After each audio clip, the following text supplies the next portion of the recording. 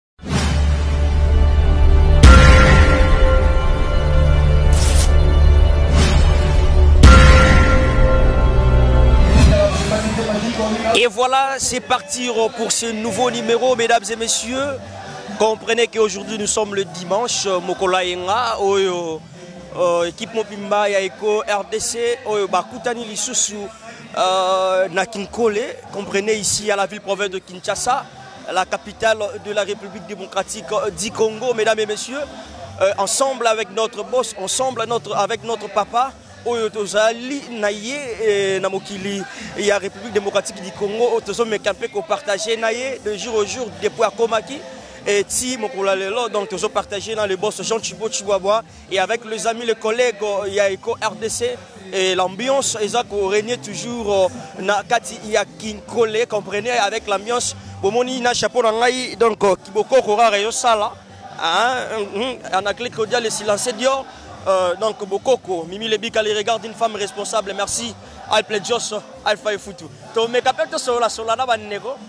Toyeba ndenge ambiance ezo regner toujours ici à Kinkole comme je viens de dire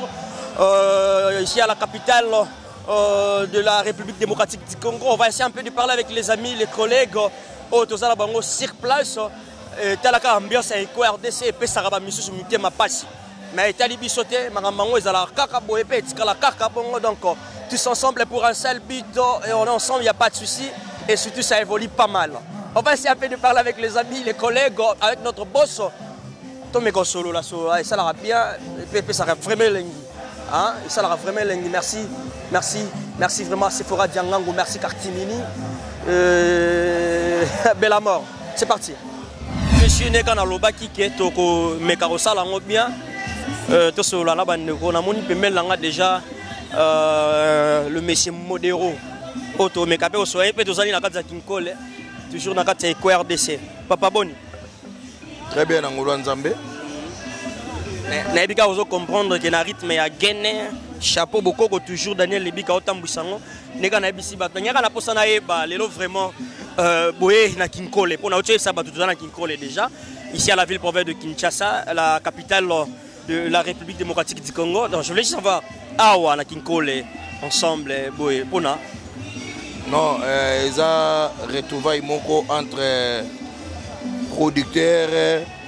na ba bacteur na ye voilà euh, yango moni toza na kinkole euh, modero euh, bato mpe baotala biso bacomprendre bango ke wana ya mode eko rdc nayebi te ah, bakobunga mpe mpona chapeau na public respect bango respect respect baotala biso bato mosusu mpe ba eko eko eko eko Nayebi te selon modero eko. Ntango ozoka eko ndenge ezalaka ke na mosusu oza na esika moko boye oyo eza ata na, na eza donc ndako moko boye eza inacheve omoi ntango ozoganga retour nango esalaka neti ezozongela yo na matoi eh, eza eco rdc donc ntango ezoganga ezozwa motu nyonso na matoi voilà eko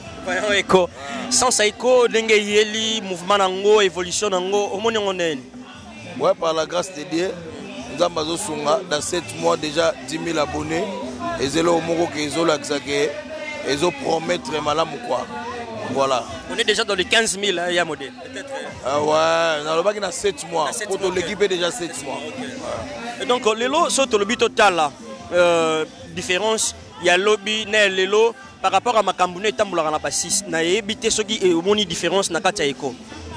non eco rdc d'ailleurs eh, visionnaire na yango monsieur jean chibo chibo abwa mobos ye alobaki alingi asala eloko moko boye neti bato nyonso basalaka te donc voilà asala eloko moko oyo bato nyonso basalaka te merci ya mode biso tozotambola na micro na biso nayebi ke ambiance eza tokotambola tambola tokozwa moko moko mpo esala biso bien déjà rapidement mesdames et messieurs moi je dois me déplacer un peu mpo nakende epai ya le boss jean chibo chibwabwa on va essayer un peu de parler avec le boss mpo esala biso quand même bien donc euh, euh ensemble là pour un seul beat esala biso euh, esala biso bien mpo tomeka mpe kosolola na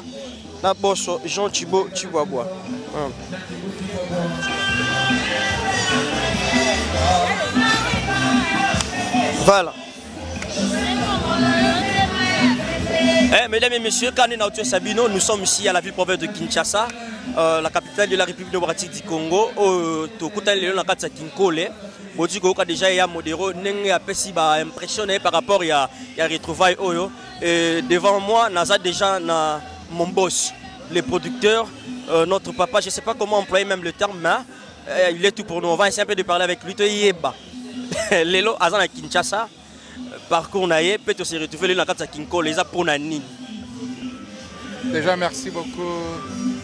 Daniel Lebika. Euh, to se retrouver ezaka na, na, na famille hein? retrouvaille avec euh, bandeko puisque la plupart d'entre bino na tosolaka mais totikali kokutana vraiment te euh, c'est pour ça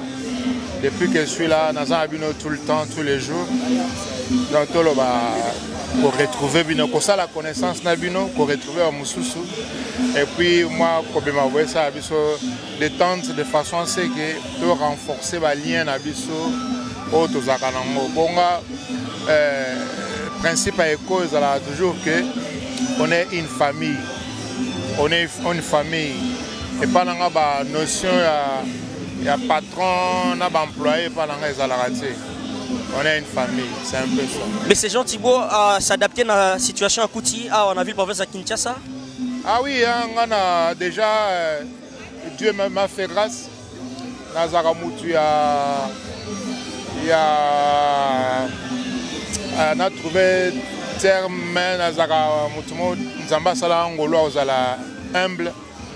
soki ko na bato ya minene na m'adapte na bato lokola biso mpe na m'adapte na nga donc euh, je suis très très très à l'aise par rapport à l'évolution il y a eco rdc vous le numéro 1 euh, no yebe évolution oh, ezokenda lolenge nini en tout cas euh, eco rdc ezaka ngolu na nzambe mpo euh, nde na otekoloba Consort na yo Fanny Cataleya, si moi on m'avait dit il y a 8 mois que lelo tokokoma na 15500 abonnés que toko que bato babanda okopie biso que bato babanda opirate biso nalinga nandima te mais aujourd'hui c'est le cas tokomi quelque part kolakisa nzela bandeko mosusu mpe Bazo mekola biso. Donc euh, l'évolution est très très positive et nazali très reconnaissant epai ya oyo apesaka nyonso c'est-à-dire Seigneur na biso. Et, mais ce n'est rien, ce n'est que le début par rapport à l'ambition toza nango d'ici peut-être quelques temps tozala mpe site référence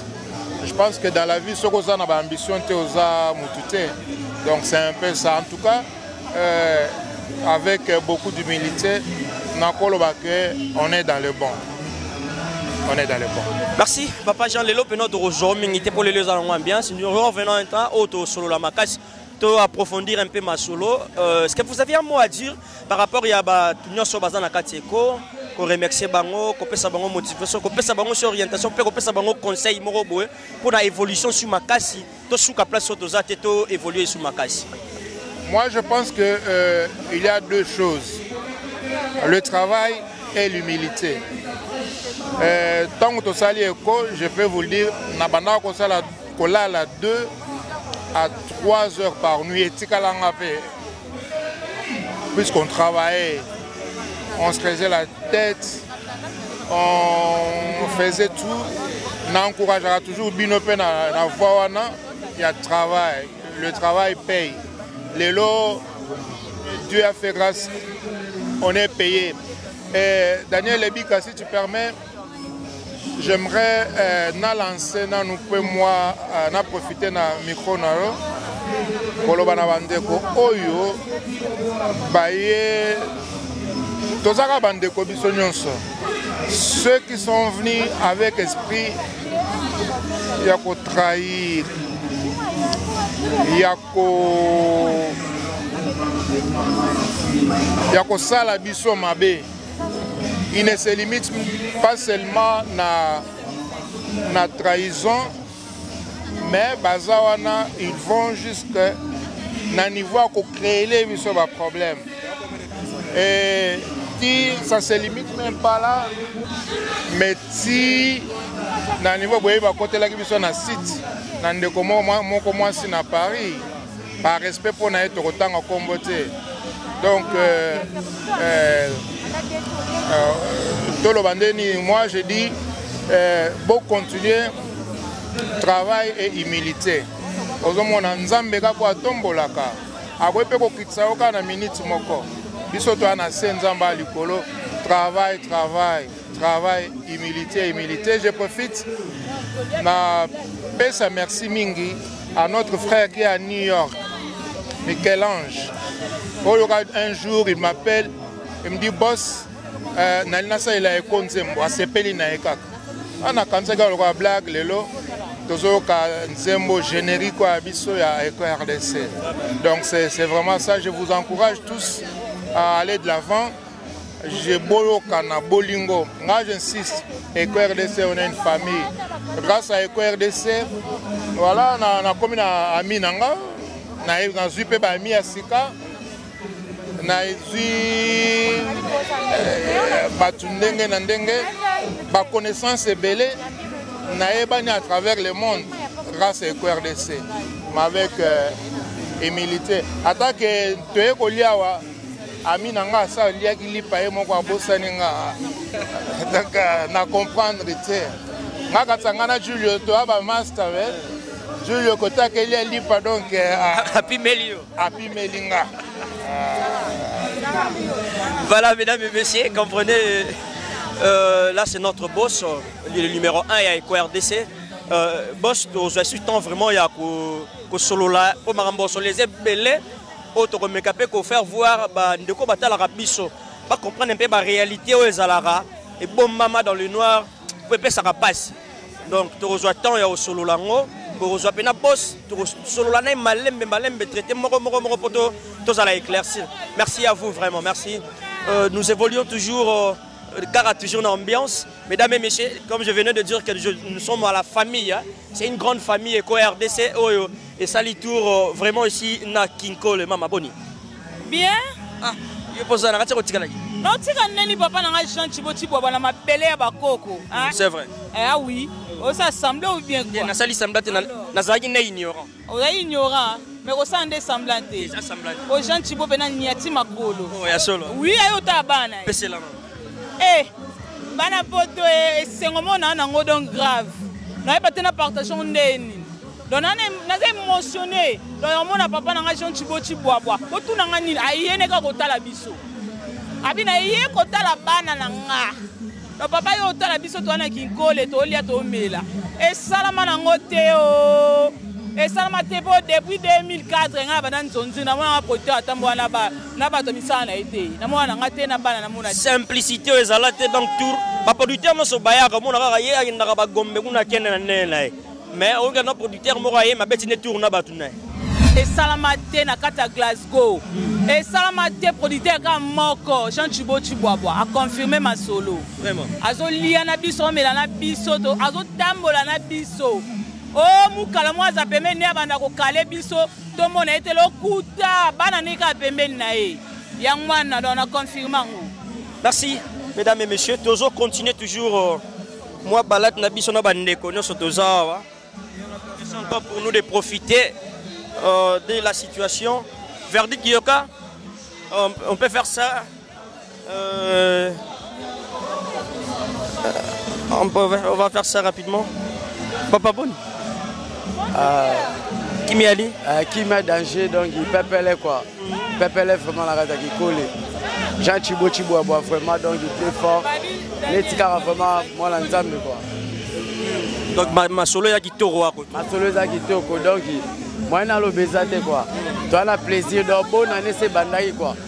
donc na tokomi décembre te mais jean chibo chibwabwa donc vraiment moyen na kitoko toi kitoko makasi koleka libende merci hein. ville break eric kenzo on va parler avec toi ça va boni ouais ça va daniel ambiance ezawa nayebi ete kozawa ah bon oui. normalement falaki nazalaka parce que te comprendre nga ngani na ye retard yo oyaki liboso Ouais, ouais, normalement falaki ka nazala parce que etalaka papa aza eza vraiment plaisir ya kozala na papa dimanche moko malamu nayebi te nakobenga dimanche oyo nini apart malamu fo baluka esu komo mosusu po elaki mpena kitoko mpo na biso yango wana un mot mpo na eco rdc na producteur na yo lelo euh, baproducteur ebele bayaka omona mpena aza na katimini na mamu na ye mais tour pena na, na, na, na, na patron vraiment ya koloba eza ebele nzambe abakisa ebele papa aza simple papa aza vraiment papa malamu mpo alakisi bolingo aza na biso azolia na biso nde yaka bamisu babatami na baflate mpo na komona ye ekomi lelo lobi lelo lobi mais vraiment elo na osenga nzambe alongola ata bayinda nde na bapolitere mosusu wana bakisela papa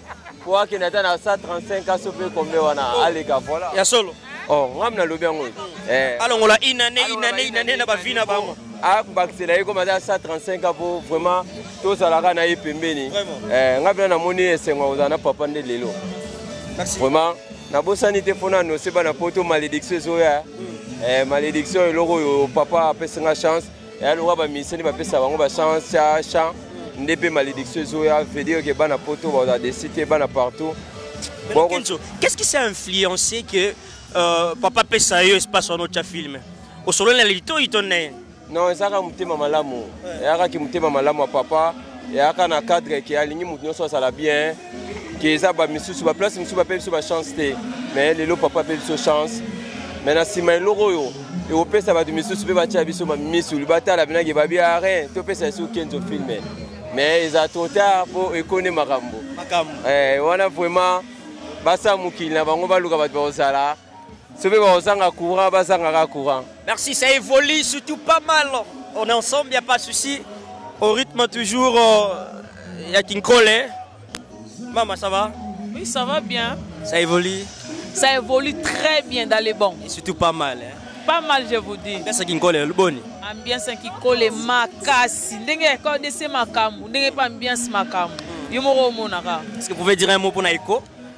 Oui, amo eza ka eko eza bien, esali bien, esali biso bien. Biso ba milka oyo lelo toza ba milka grâce à Eko RDC et prospérer et kende liboso makambo malamu ebele la tango oyo papa osala alemba te asalaka kaka. Po ba producteurs baza pona biso ba artistes, biso ba artistes pe to viva pona bango ba acteurs. Donc j'aime beaucoup. Vraiment lelo ozwaki euh,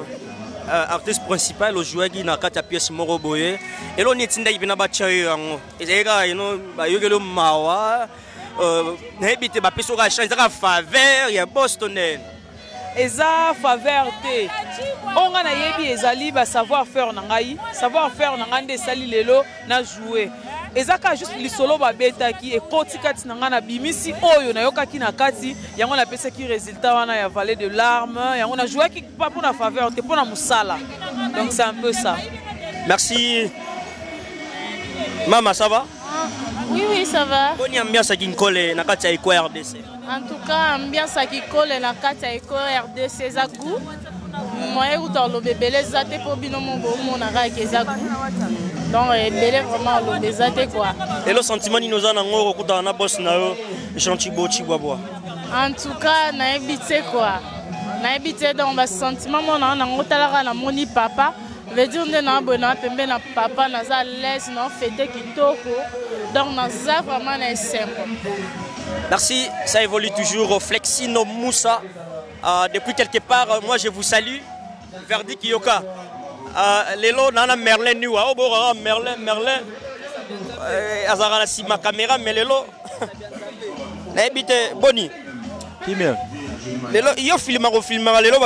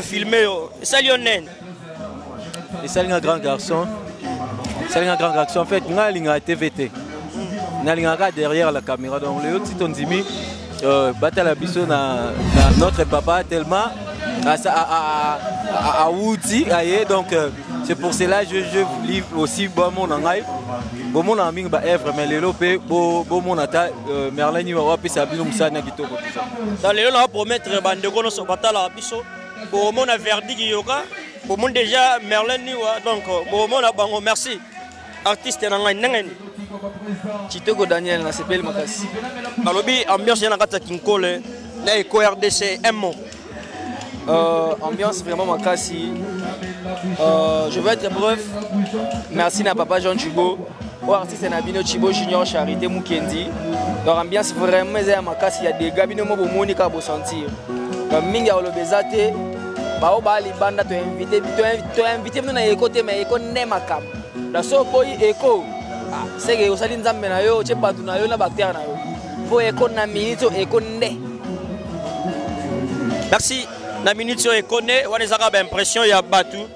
oyo baza na kati eko ça fait quand même bien de savoir que ya des gens oyo baza motive pour travailler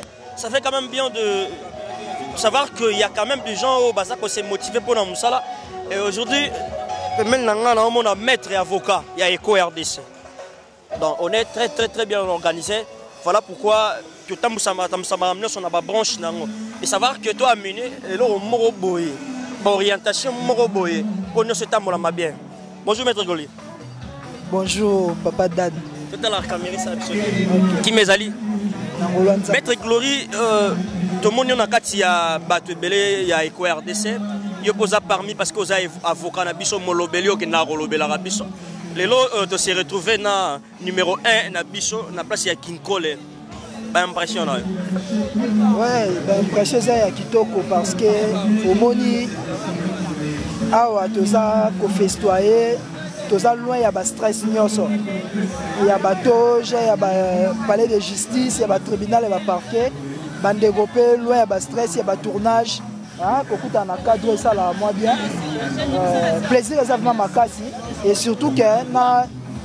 Euh, papa na biso jean chibo tomonaka ye kaka na internet na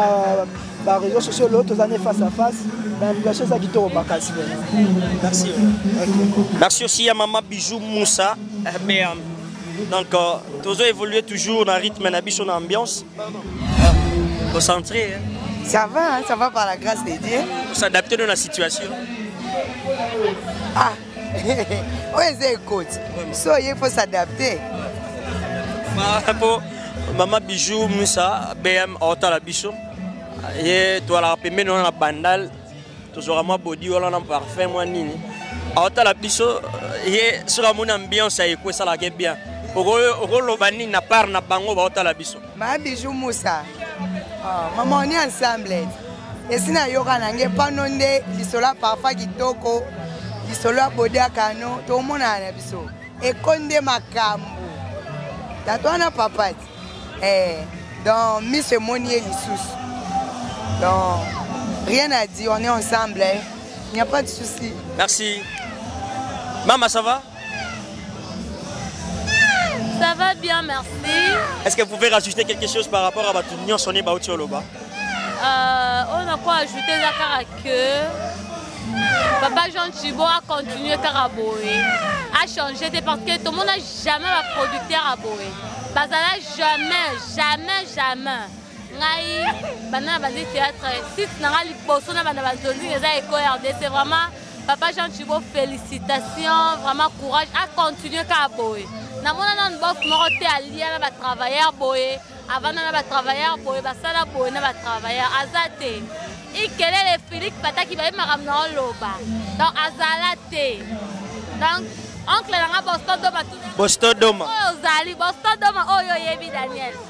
Atika nga site oyo ozali eza site moko serieux nga bi en tout cas boss Jean Chibo Chiwawa apesi nga place na kati ya lopangu na tonga ndako donc ndako na nga pena na tongi na kati ya lopangu naza à l'aise merci verdict yoka to pema to to to, to souffler moi moke bongo to continuer toujours à faire yango ah. Raymond Singa era munene ya na ngai bakomaka pena era magis Kin, Raymond Singa, eh, eko, RDC, ekonde makambo. Era Munene, Raymond Singa, merci à vous. Kani na obeto otambola toujours na système na biso ya kotuna tuna bandeko na biso nyonso oyo tozala bango sur place de manière que toyeba comment euh, l'ambiance évolue sur place ici à Kinkole tomeka mpe kosolola tomoni toza na Gilles ah, déjà rapidement euh, na otondo déjà micro na nga mpona opese mbote Gilles Mm, bonjour Daniel. Boni. Kitoko na ngolo ya Nzambe. Bien sûr eza wa je. Nga na ebite euh, yo soko ko loba nini par rapport ya mokolo lelo na moto toza ni lelo le numéro 1 ya Eco RDC oyo andimi kosangana na biso lelo ba impression ya Julio oyo atiki ndako na ye andimi mpe tozalaka na yo ensemble. Ah, Daniel, mon eloko yo nasi na maloba, nasi na donc esengo na tana ngo isanga maloba. Parce que omona papa auti de dire auti Suisse aye oza première fois te ntango ayaki boso tara 20 heures nabengi fani fani oza ona na papa na bandal e eh, nakenda mpe nati bandal papa ayambanga talaka papa azalaki mosika mese dilplase ayambi nga ndenge wana ezonga liboso sikota sitami to tovanda kinkoli awa tolia tomela toti na mai eh. totambola mai na papa to tosakana mpo na papa donk eh, nada ba impression moko nayebi te donk eh, besengo oyo nabungisa kala mpe nakoma koretrouve yango vraimen atalaka papa ekoli nde makambo taka ekoli lukeli nga baproblème ntina lupango na ovanda oh, loba ya solo oh, ekoli lukeli nga nga bisanga lupango mpo na eko babike ngai nafingisi lupango na bango ngai nasali reputation na bango oh. eh, bana poto donc basengi na dodomage bango ke ngai nafingisi bango boyeboyeboyebo mais talaka bokasi ya eco rdc avec jean tibo tibo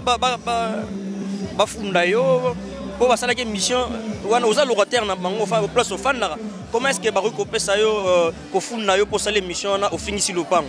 non nabaki na baloba yango te me naza oblige ya baloba yango mm. malepo eza nini sa tosala tosala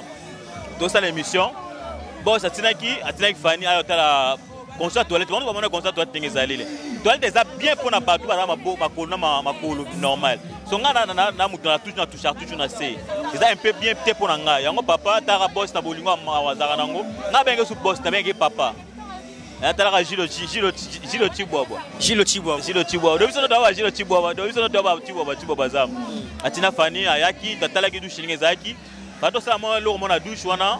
mpo na façon na nga na toza kosokolela batala ata douche bongo ndeko na moko aza na poto na ye so abenga biso abenga nga aza na répétition aso na camarade na nga oyo tozala ne ya deba afinga amor na ye so daniel bana poto dove neyebi te na fixe mpo na bango te nga na explika façon concert toaleti wana ezosima na nga te babenga oyo tosali repression na bango fo dodomage bango nga mpe nadodomage bango na nini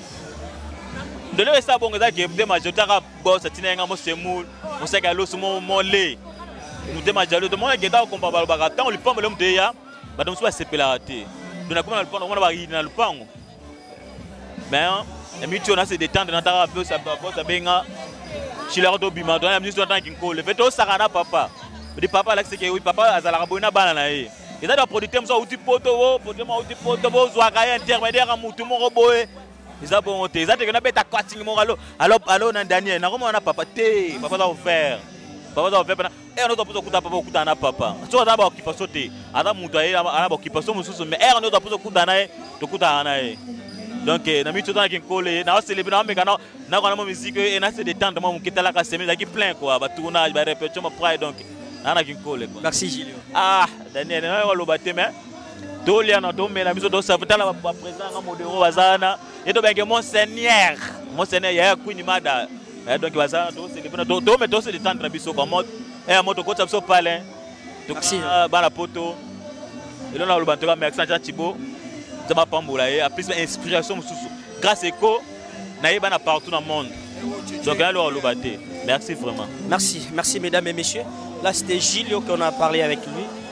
Bo comprendre que ba makambo eza nango ya koloba mwa ebele mais on va faire ça euh, na rythme toujours à nini. On va parler aussi avec Fanny, Fanny Cataleya parce que tout ça Fanny Cataleya. On va essayer un peu de parler avec lui. Ça va que ndenge nini etambola ba parce que ça la rabema bien. Fanny ça va Ça va bien bébé Comment Ah pas mal. Et à l'ambiance toujours ici à Kinkole, ba impression na yo. Ah en tout cas impression na eza kitoko makasi. C'est que bien c'est que wo c'est que gout donc soki fille ya cococo déjà sa lobi boye donc seke daniel seke wo donc wo eko ezo évolue ndenge nini ah eko évolue vraiment bien bien bien tu te retrouves très bien hein? ayaya eh, soki nazali kose retrouve te na ngai navanda na eko deux jours trois jours te ntina année oyo bamikolo nyonso ngai nasali na kati ya eko na ngai nazala kaka te donc na ngai nazala na ngai bato ya kokende parce que daniel yo monde oyo oza na nakobomba te eza bato basolicitaka o hmm. amtu basolicite mpe na bamonta moko boye vous comprendre basolicite mpe na bamonta moko boye mais olandaka monta wana nyonso te hmm. ofandi kaka parce que otala travail otala mosala ndeni mosala ezokende nde lelo ovandi na o mais eza basite bayeba kosaka okende maman donc biso bachroniqueur na bachroniqueuse tozala lokola basi ya ndumba mais so omoni chroniqueur to mpe chroniqueuse akangami esika moko beko donc seke esika na olia bien donc na eco rdc na o se retrouve donc na ozwa mwa mokie ata mwa 10 francs parce que montant na mbongo na ngai na oloba yango te na tv ata mwa 10 francs na soki na ozwa 10 francs esala ngai bien efuta ngai ndako donc c'est bien eh, lelo eh, ekoya desa na kati ya kinkole mpona Bon, eko RDC na kati ya Kinkole eza toujours retrouvaille ndenge nini tokutani na Jean Chibo Chibwabwa okay. oyo aza papa oyo avanda ba année ebele avanda ba temps ebele o comprendre Jean Chibo Chibwabwa avanda ba temps ebele na poto mpe banda eko ebanda en réalité nga no namona jean tibo tibwabwa te mais lelo oyo jean tibo tibwabwa ye na kinshasa donc plaisir a trop tovandi na papa donc papa asengi ke retrouvaille mwa samedi mwa dimanche moko boye donc mwa relax donc yo ndeti boye obatami kaka na nsima oyo donc poso olongoli yango mpenza tala tala mpenza nyonso makambo donc obombi mpenza makambo na kati lokola osa émission mais en réalité oza mpenza na relax donc euh, topartage na papa tomela c'est un peu ça merci kataleya ça évolue toujours pas mal mesdames et messieurs vous comprenez que je suis maintenant avec verdict yoka bomonaka monaka ko derrière la caméra il s'appelle verdi kiyoka mais lelo towani sikoyo en live yeyo tozalaki na merlin niwa sikoyo ngai na verdi kiyoka yoka boni ayoka ah, niema nalobi ya euh, bato batalaka kaka batalaka kote bayokako kaka siko bato bamoni ye lelo bimi osambi zo na micro atimbela nayebi te baimpression na yo par rapport ya dimanche ya lelo oyo oh, bos aza sur place bato bayokaka kaka derrière la caméra derrière la caméra verdict yoka yoka niema sikoyo libosa caméra bon euh, eloko nakoloba euh, verdict yoka yeyo oyo peut-être que bandeko na nga nkombo moko boye babomba yango je suis euh, babengaka mingi ndunguzi ntende donc pilipili mwa mokie mais sobaki yango na biso donc au sentir mais donc euh, impression na ngai eza malamu mpo na journal lelo dimanche etant que toza na papa euh, papa auti euh, directement suisse aye donc euh, aye okutana na biso aye osola na biso euh, aye opesa biso mwa bajonction moko ya live kua mpo toyoka yango mingi na bawhatsapp na banini banini mais aye opesa bajonction live donc euh, esali biso bien avec la famille eco rdc mobimba Euh, mes amis, lokola ndeko na ngai azofilme ngai euh, Merlin Niwa, euh, à toi aussi Daniel, et puis euh, Fanny Katalea, et puis ndeko na ngai mosusu Bob Molema, donc euh, vraiment esengo eza makasi. Merci mesdames et messieurs, donc euh, nous souffrons un peu, à la, toujours à l'ambiance, on est bandaki déjà likolo level, tozokenda malembe malembe mpo tolia mwa liboke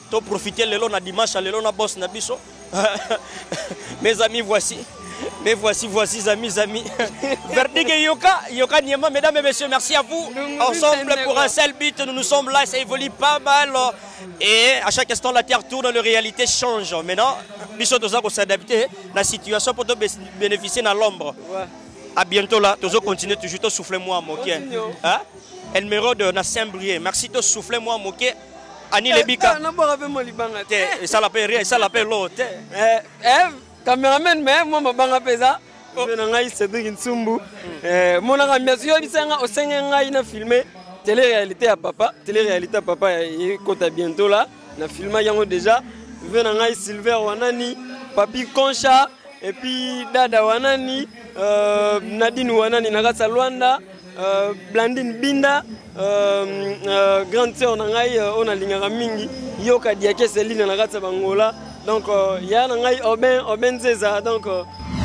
euh maman euh, neka nazosolasola na bandeko nyonso lelo toza na kinkole euh, un certain dimanche oyo tokutani na bosi na biso le boson chibo chibo aba le producteur ya eco rdc euh, sur place yo mpoza euh, baémotion na yo baimpression Oh, ya dimanche ya lelo ndenge ozomona situation eza lolenge nini te situation eza yango très calme ambiance moko du jamais vie donc esali biso mwa plaisir toyeli mwa kikole tolia maboke tozomela mwa makambo boye na bandako esalamaka trop ezalaka rare esalamaka tout le temps te yango eza ambiance mwa makasi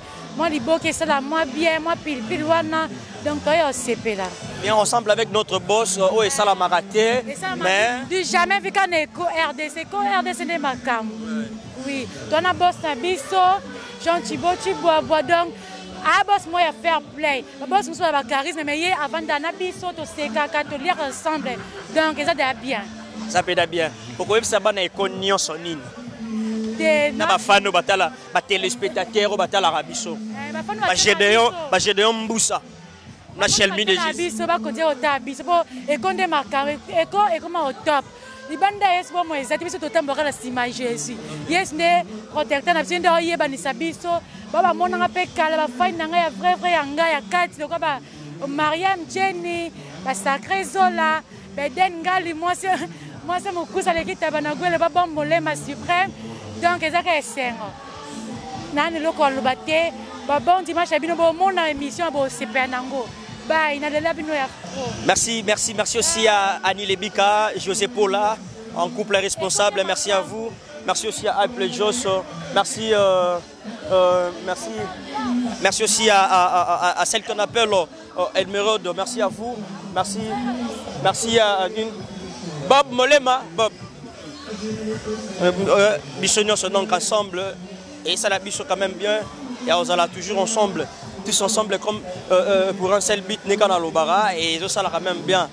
Ya oyeba ke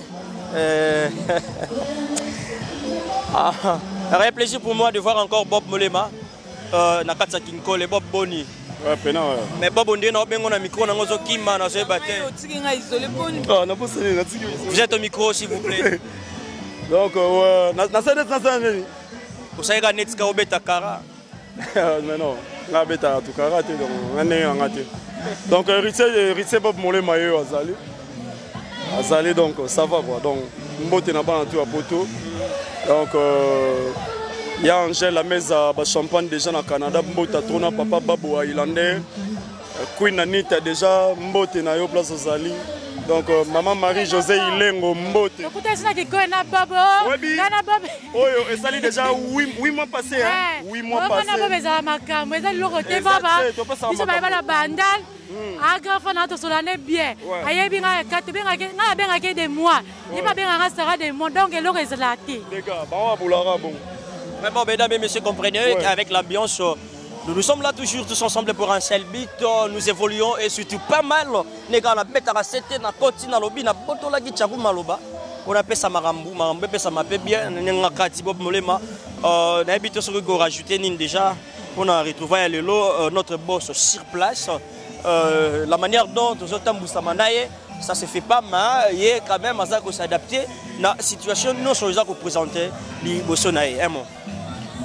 Euh, merci nasengaka napesa yaka déjà nzambe merci na bi donc euh, papa ye c'est normal euh, donc fallait ka aya aye et nyonso te se passait bien depuis l'aéroport jusqu'ici to place akomaki nyonso se passait bien tokumisika nzambe lelo omoni tozosanganaka heure nyonso to biso nyonso mpo kaka epesa sorry epesa makambo donc euh, oyebi ah bon naolobaka tayer mo merci bob molema comprenez l'émotion avec bob molema frère na nga toalakalaka merci tokoba malembe malembe mpo esala biso vraiment jar merci nayoki na mboka babeti mabonda eleli sango malamu na matoi ya bato epesi eko rcc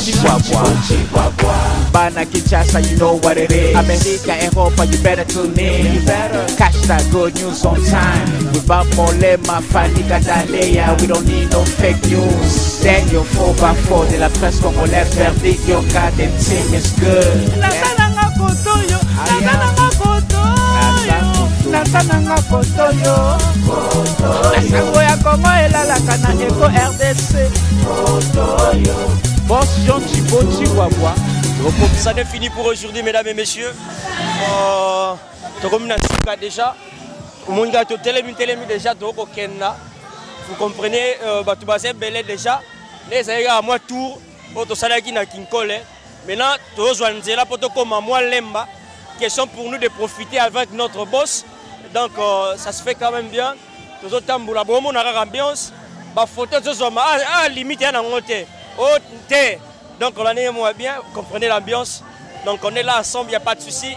Donc euh, Bob Molema, Bob Molema est là. Voilà. Vous comprenez Vous comprenez que mm. tant on a Daniel Oyo, vous comprenez que professionnalisme, on a que Daniel akobeta bateni ya basoda mpo tokanga tous les chroniqueurs oyo bakosaka bino na professionnalisme donc nous on est là lelo bomoni lelo bamarines ebimi bacommando babimi donc euh, to bacommando babimaka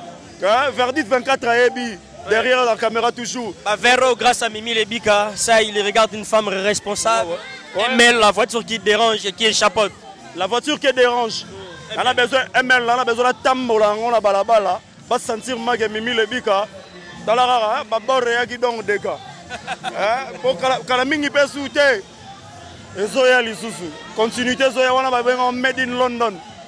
made in london no babord ezoya ya cano merci quoi verdu 24 merci à toi ouais ça évolue toujours pas mal mesdames et messieurs neka na tsoloba déjà euh, ambiance ezalaki mpe no rendez-vous comprenez que euh, donc ambiance eza donc tozokende déjà veut dire que eh, ya boye ezala te toclotire na biso dine na biso ya dimanche veut dire brune lopez Venez le pesa kana Irlande mona Irlande tongo vedi yo yo leki bango eh maman Suzy bana ya Nzambe na Deji Nkonde donc Lixe Lixe Isabella donc eh, eh nani si bampe mala patro na yanga petit ya motema donc ça subi ma maman chérie maman via queen bana la reine mère de vidéo masala nga donc eh, da da impact Ah ouais, donc salutation na pesi kana na numata. Na numata Bundesliga ya jeudi kana ntete. Na numata logique. Eh, wana wana almana solo. Wana almana solo na numata ye eh, yango na Bundes. Merci à toi Bella Mort, oh, comprenez comme je viens de dire que nous nous sommes à la fin, nous nous sommes à la fin euh, ici à Kinkole et nous avons déjà route pour euh, Lemba chez Tchetche, Tokenda, Toningisa, Mpezari. Babi Zaïre lelo ezo ningana depuis to bandaki tongo tozo kumbana nango toujours tokomi na suka donc tozo kenda déjà kota balemba. Bon, moi je dirais merci, je suis très très heureuse Oui. parce que tout est bien qui finit bien. Tobandaki malamu, tout se fait malamu. Je suis très heureuse et très contente. Il y a qu'au- il y a qu'organiser sortie au- par euh, Messie Jean Chibo Chiboaboa. Je salue Merveille Mboyo. Sarah Petit, la plume rare.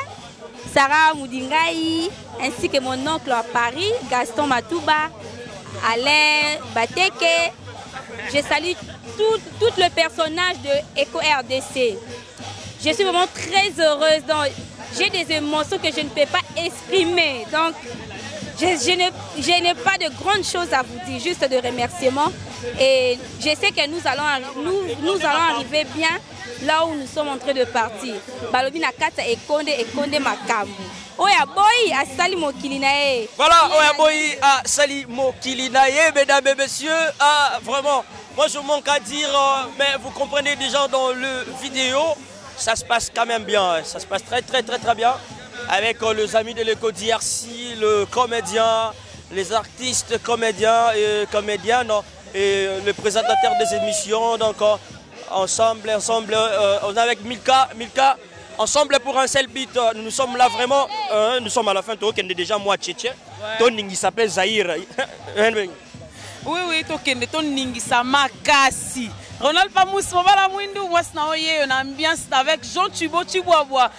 Eh papa biso mobala mbinga. Oh. papa nani? Oh papa biso Jean Chibo Chibwabwa. Ah, oh taki komo. Oh jamais. Bala comprenez la bien so. Euh... Daniel, euh, je tiens à saluer mon oncle chéri Boston Doma, oncle Nanga Yambinga, oncle Nanga pembe balobi ye na mwasi na ye nicole bamu balobi bambote na nde beye toza na jean cibotibobo na kati ya kin ikelele motema ya eh, motema ya na lela tro lebe nanga ikelele voilà nous évoluons toujours euh, ici c'est cibo ah, ici c'est cibo junior donc euh, je salue juste euh, nana mutombo na france rose mbuluku na france Euh, Sarah Ismaël Motema, ma maman, euh, toute ma famille, Daniel Lebika, Awa, et Kondé Makambu, na Jean Chibo Chibuabwa. Voilà. Oyebi ke eh, site moko te kokani na Eco RDC. Eco RDC ya papa Jean Chibo Chibuabwa. Maman Jackie Kibala Chana terminus de l'amour. Na pesi bino ba mbote bele de la part ya Jean Chibo Voilà, Chibuabwa. na kati ya Kinkole déjà tozalaki ensemble avec euh, la grande famille de l'Eco DRC. Euh, mesdames et messieurs, maman ayambi biso de na mama boke apesa nanu ba impression ne pas aye na micro ya Eco RDC aloba ndenge accueil oyo ezalaki awa vraiment ezalaki chaleureux. Bon voilà, merci mingi. nateka na ngai na kinkole mais oyo oh, ya mode asali na journal lelo mpo na ngai na kinkole en tout cas jamais jamais jamais jamais donc amemeli ngai bato ebele balieli ngai moins de 450 maboki en tout cas nasepeli makasi nasepeli makasi na ya mode ok merci wana mama oyo oh, abi donc oh, oh, ambiance ezalaki tellement tellement level donc level ya grave euh, donc zaire ezoningana euh, bientôt là vraiment donc comprenez ezaka baambiance ah, oyo eh, bomona oyo eza makokolo donc toza na kati ya kinkole eh. toza mpena na kati ya kinkole bajete eh, toza mpena na kati ya kinkole Ah, wana poste azotala eh, donc toza mpena na kati ya kinkole bana kinkole baya kosepela parce que vente esalamaka boye te to na ko rdc kiti na terrain bamoni mpena vente esalami na ndenge ya moke te yango tokokende na maleme toningisa zaire bakota lemma kuna donc bos tokomi na suka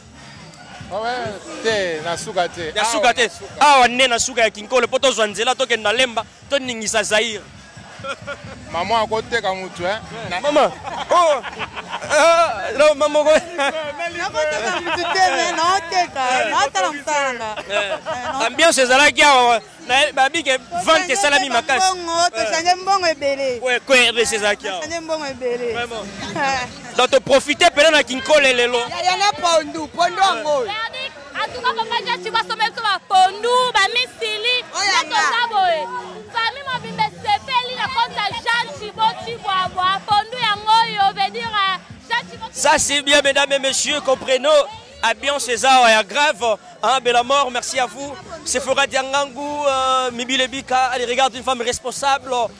Alpha et Futu, euh, euh, elle s'appelle euh, euh, ML Lebiga, merci à vous donc.